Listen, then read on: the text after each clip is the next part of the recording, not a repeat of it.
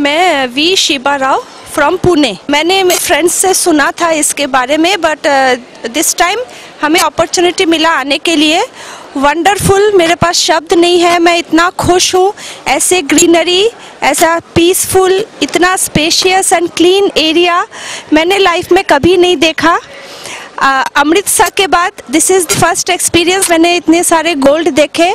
People are so peaceful और खाना वो तो बहुत ही अच्छा था, बहुत अच्छा था। दर्शन बहुत अच्छे से मिला। हम सामने बैठ के मंत्र उच्चारण करके ईश्वर माने लक्ष्मी जी का दर्शन हुआ। People are so cool and peaceful इतना नीटनेस इतना ग्रीनरी शायद ही मैं कहीं देखी हूँ। और मैं, मेरे फ्रेंड्स को हमेशा बोलूँगी, यहाँ पर ज़रूर एक बार आए।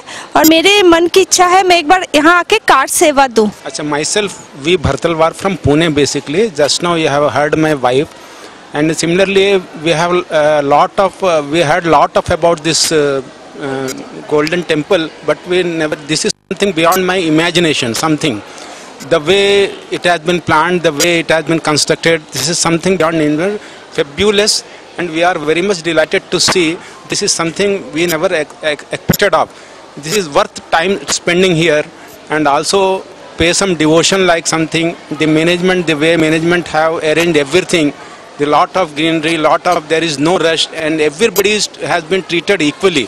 That is the most delightful thing, and I am very much thankful to the, my friends and whatever the source I had to come over here and to have a darshan of this man.